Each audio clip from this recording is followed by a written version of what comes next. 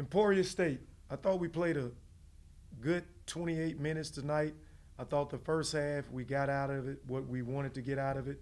We wanted to press those guys to work on our press defense, trapping the ball, getting matched up. Um, I felt like we didn't shoot the ball well. 37% from the field, 27 from the from the field also, not from the three-point line, and 57 from the free throw line. We got to do a better job. In order to win big games, you got to be able to shoot the basketball from the field, from three, and you got to be able to make free throws at a high level. But overall, we got out of this game what we wanted. I wanted to get some young guys the opportunity to get into the game so I could see what they had, and we were able to do that tonight. I can't talk.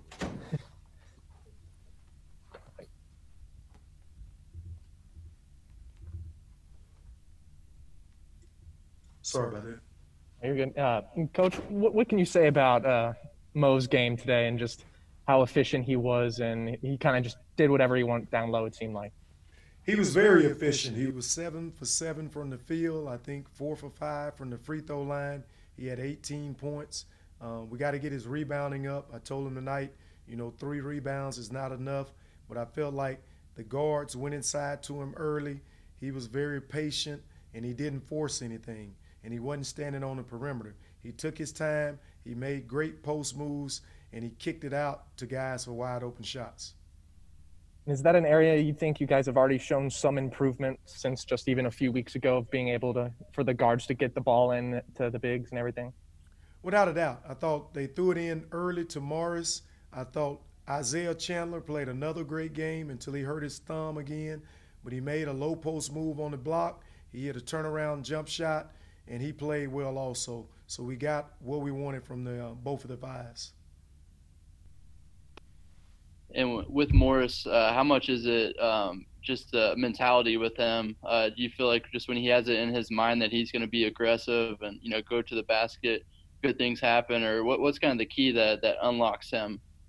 I think he ran and he got good position in the post early. I think the guards looked for him. He didn't float out on the perimeter and he didn't force any shots. When he got it inside, if they double teamed him, he kicked it out and he would repost and he just took his time. He was really patient inside. We need those bigs to be able to score inside because you're not going to always shoot the ball well at the three point line. So you got to score the ball in the paint. And basketball is teams that win, they start inside out. And we did a good job of that tonight. And with his uh, improved uh, foul shooting, uh, you know, he's been a career, I think, under 50% shooter from the free throws. So, how much uh, improvement have you seen from what he did in the summer? And just does he just look more comfortable, you know, going to the foul line? And how big can those, you know, those points be, you know, added points from him at the free throw line this year?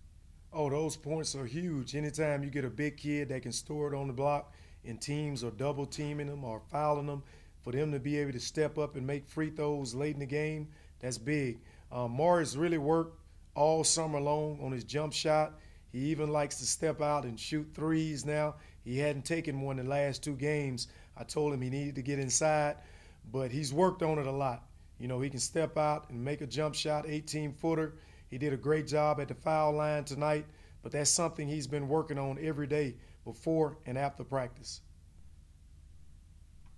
Coach, in a game like this, um, you're obviously um, more talented, bigger, stronger than the other team. Was there an emphasis on being more technical in tonight's matchup for your guys, doing the little things right, the small things, so that when you do get into more competitive games, that you're able to have those that stuff down pat? Yeah, that was one of the keys tonight. Number one, we still want to run in transition. I wanted them to push the ball hard in transition. I wanted them to be up the line on defense but we just felt like we wanted to execute better. We wanted to, to be able to steal a basket, meaning run a set and get a layup, or run a set and get a guy a wide open jump shot.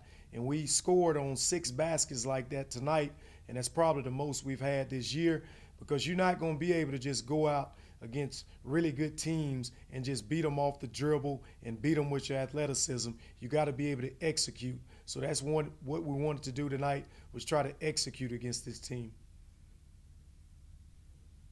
And obviously, I mean, your guys' as guards are, you know, everybody knows, you know, Tyson and Dexter, Tariq. I mean, those guys are going to be the strength of the team. So, how important you feel like the centers, you know, Poor Bear and uh, Mo, are these guys, are, they kind of the X factor you feel like this season, or can they be? Uh, yeah, I think Isaiah Chandler, I think Clarence Jackson, I think Craig Porter, all those guys coming off the bench, they definitely can be X factors because those guys can help you win. You know what I'm saying? They're veteran guys that have played at this level um, two or three games now. They know what they're doing, and that adds to our team when we can get some people coming off the bench scoring. Our bench has done a great job the entire year.